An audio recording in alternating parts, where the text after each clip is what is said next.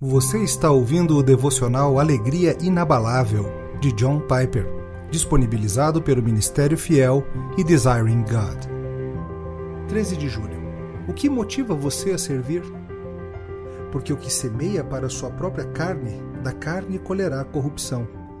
Mas o que semeia para o espírito, do espírito colherá a vida eterna.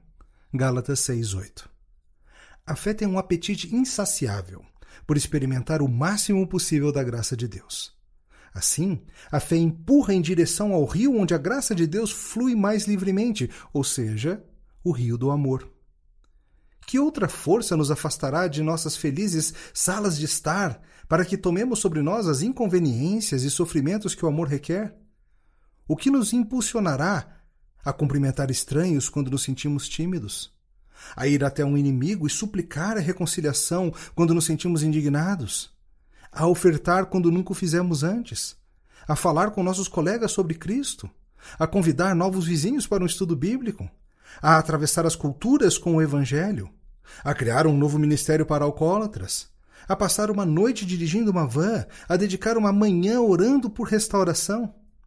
Nenhum desses custosos atos de amor acontece de repente eles são impulsionados por um novo apetite, o apetite da fé por uma mais plena experiência da graça de Deus. A fé ama confiar em Deus e vê-lo realizar milagres em nós. Portanto, a fé nos impulsiona para a correnteza, onde o poder da graça futura de Deus flui mais livremente a correnteza do amor. Eu acho que foi isso que Paulo intencionou quando disse que devemos semear para o Espírito, Gálatas 6,8. Pela fé, devemos colocar as sementes da nossa força nos sulcos onde sabemos que o Espírito está operando para dar frutos nos sulcos do amor. Você ouviu o devocional Alegria Inabalável.